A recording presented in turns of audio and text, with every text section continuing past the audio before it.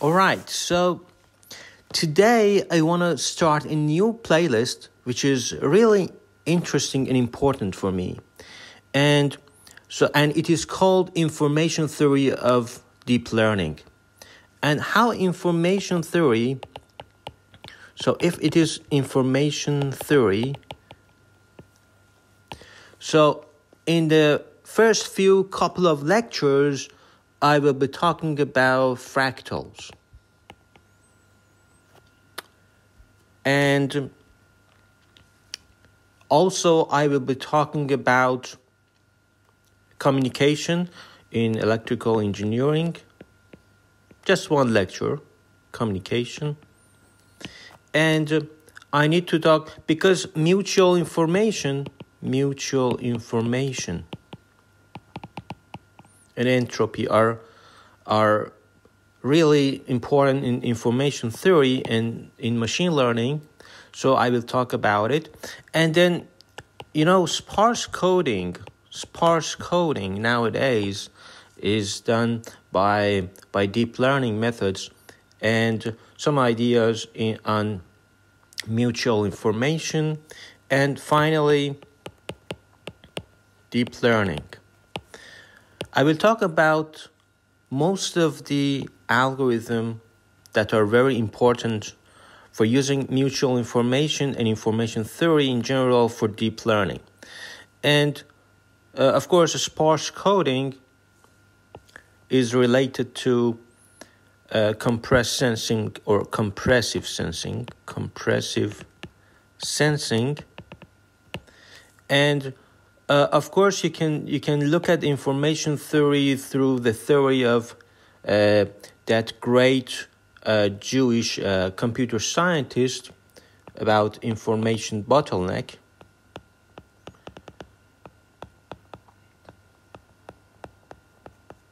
Which is a very beautiful theory and very important in machine learning.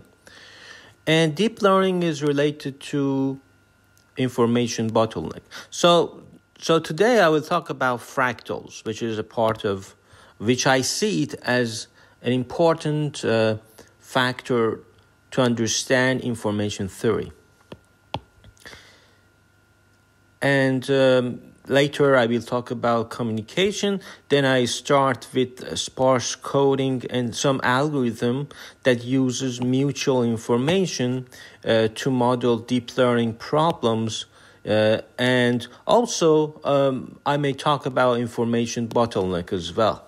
But I won't talk about compressive sensing uh, because it is very related to techniques that we use in sparse coding. So it is enough for me to talk about sparse coding.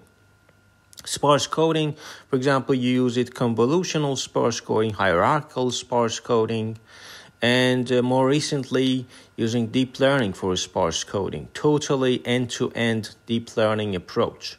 So let's let's start let's start by fractals. You know if you want to understand why information theory pre- plays an important role in machine learning you should understand fractal geometry fractals at least the basic definitions in fractals. Otherwise, you cannot fully enjoy uh, information theory the way I enjoy that. So, what is fractal dimension? Fractal dimension. So, I, I think information should be encoded in fractals. So, if I, for example, if I multiply for example, this is called Koch curve. And if I multiply the length by 3, so, and this is, for example, 60 uh, degree, and the length multiply the length by 3 so r r becomes 3 and i get 4 copies one, two, three, four. So I get four copies, so n is equal to four. So we can now compute the we can now compute the fractal dimension, which is just log of n divided by log of r, which is equal to log of 4 divided by log of 3, which is point uh, 60206 divided by 0.47712, which is equal to 1.262. So we have calculated, so this is the fractal dimension of Koch curve. I will give you another example, but just just look at this. Um, four is just the number of copies that I get one copy, two copy, three copy, four copy. Uh, so you see, this part and this part information doesn't change. You can think that this special part, if we need to to to to, let's say refine, uh, you need to uh, find to to make it more de- to to have more details about this. So so you put it like this. So this part, information of this part, I can say is increased, but this part and this part is not is not changed anymore because maybe that part is not important. For example, in machine learning, you may uh, decompose your state space into several zones, in some parts you have lots of data points. And in other point, unfortunately, you have few data points. So if you divide into training set and test set, you must you must take care because otherwise you cannot good get uh, get good um, generalization. And so you are now understand which part of dataset may contribute to the output because a neural network a neural network although the architecture of that is really important but the distribution of data that you put that you give to the neural network is also important as well so a combination of architecture, number of layers, number of neurons, and the data set is important to understand the information. So another example that I should say uh, in any in any talk about fractal dimensions because you need to give more examples is Sierpinski triangle. So you punch a triangle in the middle. What I mean is that you have a tri- you have a triangle and then you you now punch, let's punch, let's punch a triangle in the middle. And what you get if you if you keep going, you punch in the middle, you punch in the middle, punch triangle in the middle, so how, let's count how many parts we have. One, two, and three. So we have three copies. So if you just calculate D is log of n divided by log of r, which is log of uh, n is the number of copies, as you see, one, two, three copies. So log of three divided by log of r, and r is the is the length as i said the length that we we are multiplying. So it's just 2 and uh, so what you get is 1.585 so we have calculated the fractal dimension for Sierpinski triangle. And all of these ideas goes back to Mandelbrot, and uh, especially in 1993, he quoted that clouds are not spheres, mountains are not cones, coastlines are not circles, and bark is not smooth, nor does lightning travel in a straight line. So now you understand that Mandelbrot, uh, I don't know if he knew how much he knew about advanced measure theory, but all of these things related to measure theory, which is a part of functional analysis. And uh, so I add to his quote that data points do not lie on your favorite manifold. So welcome to Markov chains and fractals. All right, so the next example is Sierpinski carpet. So we have a carpet like this. The length here is 1. And then uh, you divide it to 1.3. So 1 one third, one third, one third. And then in the next iteration, you do it again, you do it again. So in this way, you have created the Sierpinski carpet. So let's count R. R three times, and uh, the number of copies is uh, 1, 2, 3, 4, 5, 6, 7, 8. So 8. So you can calculate d, which is log of n, n is 8, divided by log of r, what is r? r is 3. So it becomes 1.89. So the fractal dimension of Sierpinski carpet is 1.89. So you see that Sierpinski carpet takes more space than Sierpinski triangle.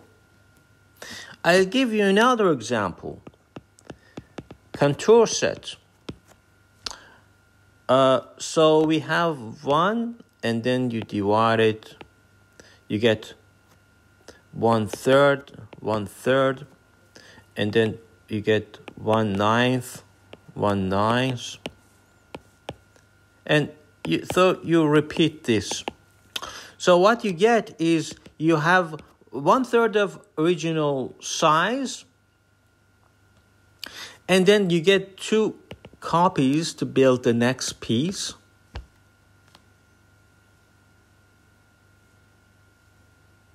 So you can calculate the is log of n divided by log of r. 0.63. And finally, uh, I want to say Cantor dust. So you take these out. So if you calculate, it becomes four copies of original size and log of n divided by log of r is 1.26. And these are examples for for these uh, fractals.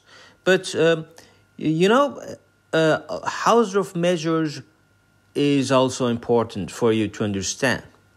I don't talk about graphlets and graph limits and those things.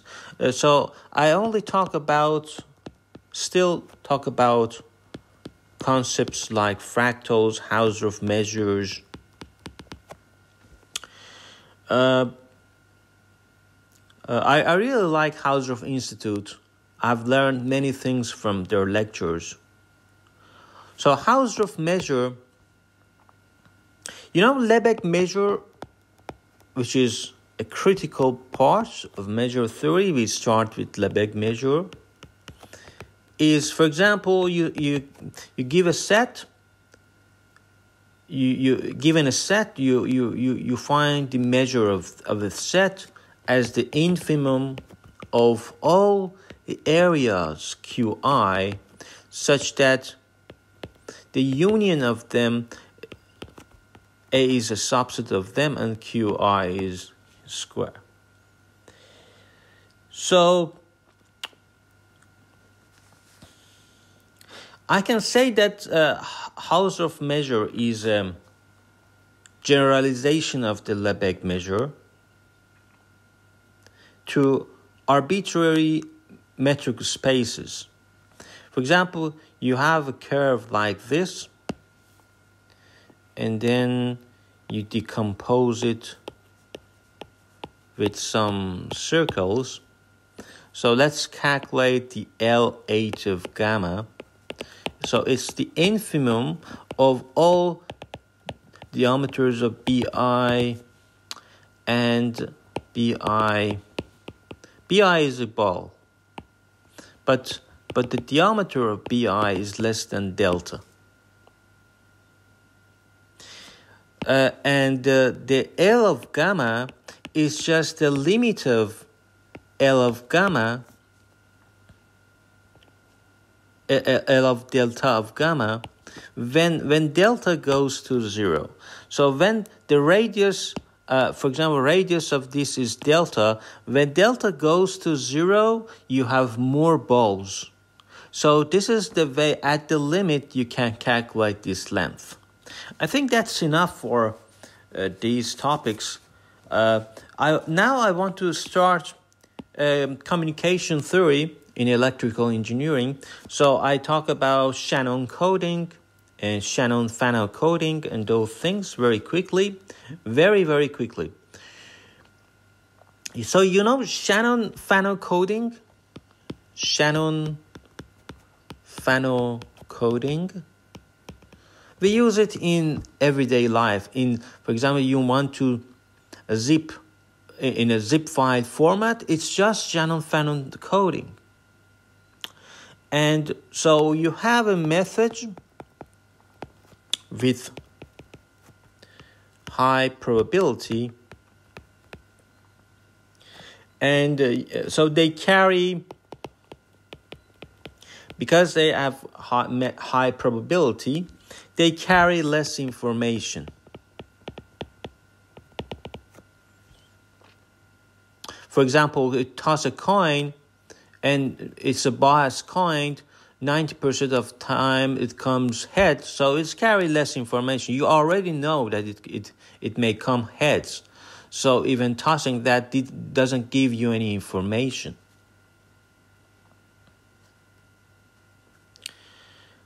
And uh, we deal with these things in machine learning, in dimension reduction, especially. So you have a message, you have a digital message, and we have some codes. But, and we send messages with high information through large number of bits if it doesn't have information, we, we don't need to spend too much uh, money on on these things. But if as if it is high information, then it is uh, economically it is fair to to um, devote some large number of bits or to uh, to spend some money and have large number of bits because if you have a large number of bits you're so everything is about bandwidth. Bandwidth is expensive. So reducing the redundancy reducing the redundancy these things are also highly related to computational neuroscience and cognitive science and psychometrics and psychology. But uh, I only like mathematics, so I don't spend time talking about them. We use bandwidth spectrum efficiently. So by reducing the, uh, the redundancy, we can use the bandwidth spectrum very efficiently.